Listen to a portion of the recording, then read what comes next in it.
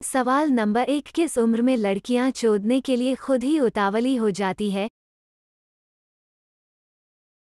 24 साल के बाद, इसी प्रकार की न्यू वीडियो को देखने के लिए हमारे चैनल को सब्सक्राइब एंड वीडियो को लाइक ज़रूर करना।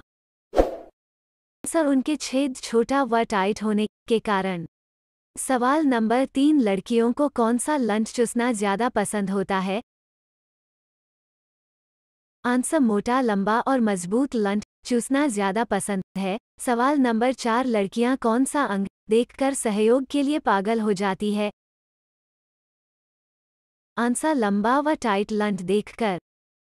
सवाल नंबर पाँच, लड़कियाँ चोदवाने से पहले एक बार रुकने के लिए क्यों बोलती है?